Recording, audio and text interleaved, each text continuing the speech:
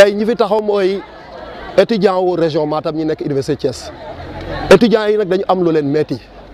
mooy ñun étudiant wu Matam yi nekk université Thiès gis nañu suñu autorité yi kenn si ñoom respecté wuñu kenn si ñoom nanguwul ñëw pour jàppale ñu parce que gis nañu ñun étudiant wu région de Matam yëpp ñu ngi si Thiès amuñu benn logement amuñu benn subvention venant des autorités de la région de Matam waaw ñoom ñiy jiite région de Matam mosuñ ñoo jàppale ci dara ñu ngi nii di jàng créé nañu suñu association bi suñu amicale bi ci ay ñeenti at tey moo def ñeenti at li ñu créé suñu association bi mosuñu am benn ndimbal benn aide mu jóge ci suñu njiit yi suñu njiit yi nga xam ne ñoo nekk ci région de Matam te boobu ba léegi ñu ngi continuer di jàng amuñu benn ndimbal te suñu autorité yooyu sax nanguwuñu sax toog ak ñun waxtaan ak ñun muy lu metti trop te li ñu seetlu mooy suñu rakk yi suñu xarit yi nekk si yeneen université yi ñu ngi leen di jàppale ils ont une subvention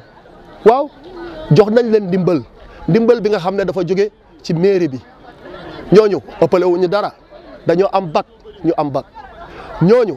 seen parents yi ay Matam waa lañu comme ñu suñu parents yi ñooñu seen parents yi ñooy liggéeyee Matam ñun aussi suñu parents yi ñooy liggéeyee Matam donc lan moo tax ñooñu di am subvention ñun duñu am subvention loolu dañ si war a wax woo nañu ñëpp waxtaan nañ ak ñëpp saa yu ñu leen woowee nag ñu jox ñu ay rendez-vous te bu bés ba ñëwee buñ leen woowee duñ leen jot muy li nga xam ne dafa betti trop tey jii nag am nañu plus de quatre-vingt-dix étudiants yi nga xam ne ils sont inscrits régulièrement au niveau de l'université de Thiès muy situation bi nga xam ne dafa betti trop parce que bu ñu nee étudiants yu bëri rek.